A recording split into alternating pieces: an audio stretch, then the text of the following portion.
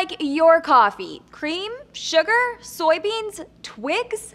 A new report says some coffee suppliers are intentionally using fillers in ground coffee to compensate for supply shortages and increasing costs. According to researchers in Brazil, coffee shortages mean fillers such as wood, husks, wheat, and even dirt might be lurking in your cup of joe.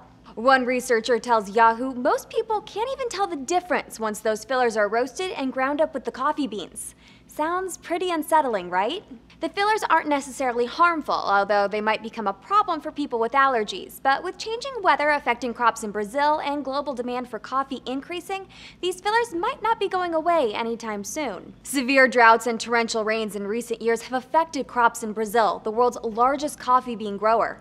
Paired with a significant increase in demand, coffee prices have gone up by as much as 75% around the world. But the good news is there's a test that might be able to detect any impurities in coffee. The team from a Brazilian university has developed a process for finding adulterated coffee grounds using liquid chromatography, a technique that can detect impurities with a 95% accuracy. Common tests currently used aren't nearly so accurate as they rely on taste, smell, or microscopes to identify any unwanted ingredients. Coffee isn't the only thing in your kitchen with fillers either. Researchers have identified olive oil, milk, and honey as some of the most adulterated foods in the food industry. Even tea has been known to contain fillers like grass or fern leaves. If you're concerned about the mystery additives in your coffee, we think sticking with whole beans you grind yourself at home might be your best bet.